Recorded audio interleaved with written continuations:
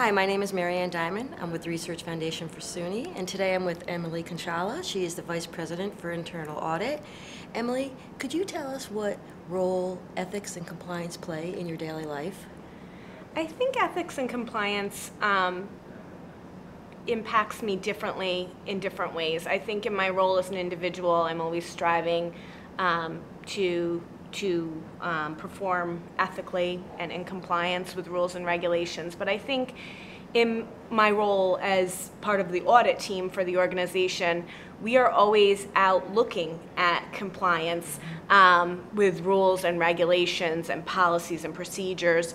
So um, there is a certain awareness there. There's um, trying to walk that line between um, being compliant and also what's practical mm-hmm. uh, when we're out at the campuses. And then I also interact very closely with the compliance department on the back end, so helping to perform investigations uh, when we do have issues of noncompliance or self-reporting those. So I think on a daily basis, there's there's different elements that that weave its way through um, my life. Great, thank you.